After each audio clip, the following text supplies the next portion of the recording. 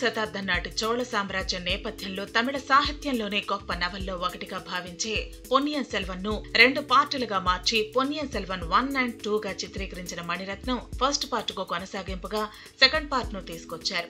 ప్రపంచవ్యాప్తంగా ఏప్రిల్ ఇరవై ఎనిమిదిన గ్రాండ్గా రిలీజ్ అయిన పిఎస్ టూ డే వన్ నుంచి టాక్ తెచ్చుకుంది.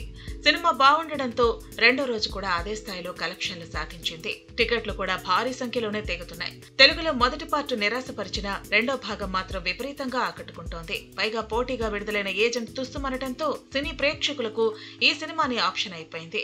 అదే ఊపులో Ponniyin Selvan two records level కలెక్షన్స్ను రాబట్టుకుంటోంది.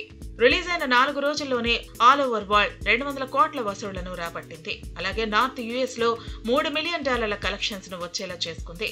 అయితే పొన్నియన్ సెల్వన్ టూ హిట్ అని చెప్పాలన్నా ఈ సినిమా బ్రేక్ ఈవెన్ అవ్వాలన్నా ఇంకో ఎనభై కోట్ల షేర్ కలెక్షన్స్ సాధించాలి. అంటే ఈ సినిమా కూడా ఓవరాల్గా దాదాపు నాలుగు వందల కోట్ల గ్రాస్ కలెక్షన్ సాధిస్తే బ్రేక్ ఈవెన్ అవుతుంది. ఇప్పటికే రెండు వందల కోట్లు వచ్చేసింది.